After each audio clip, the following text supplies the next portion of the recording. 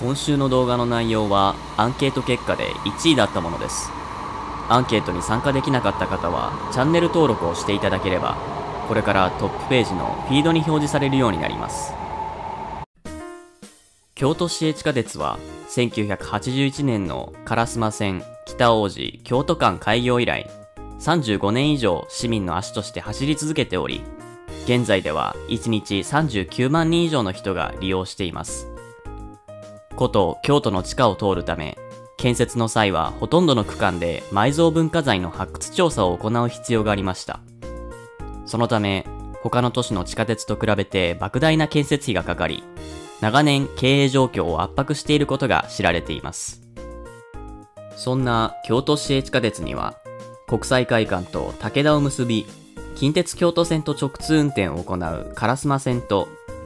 渦政天神川と六地蔵を結び、京阪京神線と直通する東西線の2路線があります。これら2路線には、両方とも延伸計画が存在しています。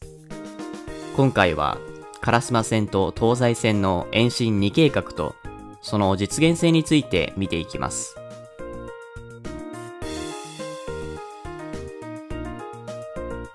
近畿地方交通審議会東進8号に盛り込まれた烏丸線延伸計画は、近鉄京都線と接続している武田駅から若干西寄りに分岐し、4.4km 南の京阪本線と交差する付近まで延伸するというものです。このようなルートが考え出された背景には、地下を通る予定の油の工事通り周辺が高度集積地域に指定されており、活性化が期待されていることがあります。南の終点は、京阪本線中所島駅の約 1km 西となります。東進8号によると、この延伸により、京阪本線から京都駅へのアクセスを向上する効果が挙げられ、京阪本線との相互直通運転も検討するとも記載されています。その際、京阪本線側にも接続する新駅を設置する可能性もあります。しかし、この延伸計画は2004年に東進8号に盛り込まれて以降、全く進展がありません。2017年、京都新聞の取材によると、京都市は戦術の厳しい財政状況から近いうちの着工は困難と答えています。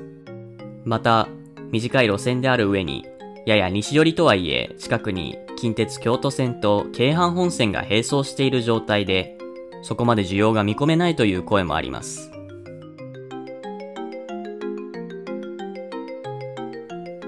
東西線の延伸も2004年の東進8号に盛り込まれた構想です。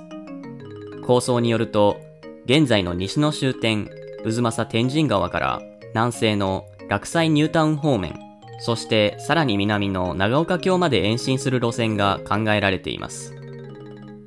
実現すれば、阪急嵐山線と上桂で接続し、長岡京でも阪急と JR に接続することになります。実は、東西線の計画段階から、東は山科第5方面、西は落西ニュータウン方面の逆 U 字型の路線が計画されていましたが、東西線の建設費が予定よりも多くかかったため、2008年の渦政天神川開業以降、延伸は進んでいないという経緯を持ちます。落西ニュータウンは地下鉄の開業を前提として街開きが行われましたが、計画が凍結されたため住民は不便を強いられ、現在では高齢化と人口減少が進んでいます。京都市交通局の経営状況や、落西における人口減少の状況から、東西線の延伸もすぐに実現する可能性は低いと言わざるを得ません。このように、京都市営地下鉄の2路線延伸は、厳しい経営状況や将来的な需要の問題からほとんど動きがありません。しかし、京都市交通局の経営は悪化を続けているわけではありません。京都市内への大学キャンパス移転や外国人観光客の増加により、地下鉄の利用客は年々増加を続けています。交通局では様々な場面でコスト削減を行う一方で、駅中施設、琴近お池など、新たな事業で一定の成果を上げています。今後、京都市交通局の経営が改善した際、地下鉄の延伸が再検討されるか注目したいと思います。ご視聴ありがとうございました。チャンネル登録、高評価、Twitter のフォローをよろしくお願いいたします。